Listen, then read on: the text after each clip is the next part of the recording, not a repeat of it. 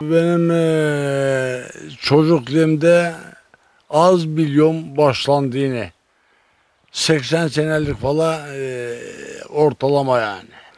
İşte ben ufaktım bu evin ba, e, başlanıldı, temelden başlanışta ufaktım. 3-4 yaşlarında falan. Şu anda? Anca hatırlayayım.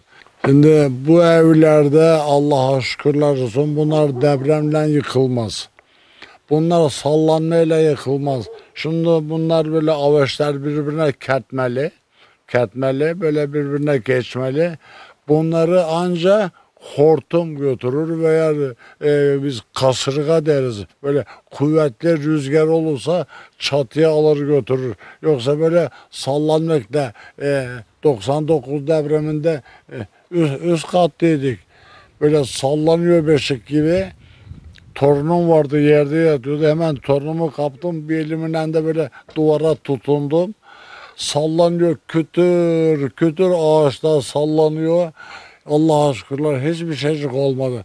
O bu beton evler var ya beton evler işte bunlar e, bunlar yıkılıyor. Bu, bunlar avaç olduğu için Allah'a şükür anca bunları bunları hortum rüzgar götürür yani Ba- başka bir şeycik ki Allah'ın. ağaç mı, ahşap mı bu evler? Komple ağaç bunlar. Bak şu, şu ağaçlar var ya bunlar. Bak bir tane de burada var karşılıklı. Bunlar ta evin arkasına kadar. Evin metre, o 11 metre ev boyu. Bunlar böyle, e, böyle 5 tane de yukarıda var. Üst katın üzerinde var. Bunlar hepsi böyle birbirine bağlı bunlar.